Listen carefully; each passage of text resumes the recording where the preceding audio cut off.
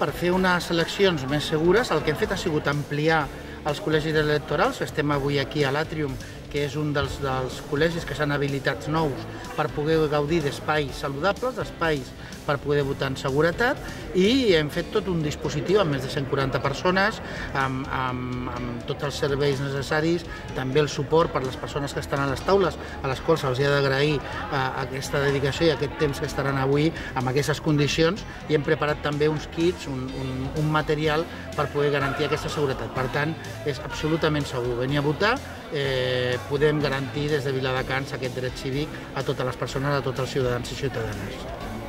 Bé, aquesta vegada hi ha millors condicions perquè fins i tot tenim espais més amples, nous espais. Hem passat a 20 centres de votació dels 16 que fem habitualment i per tant les condicions estan garantides amb tota seguretat, amb tota comoditat per les persones vinguin, els ciutadans i ciutadanes, a exercir el seu dret. Jo animo a tots els ciutadans i ciutadanes a venir a votar.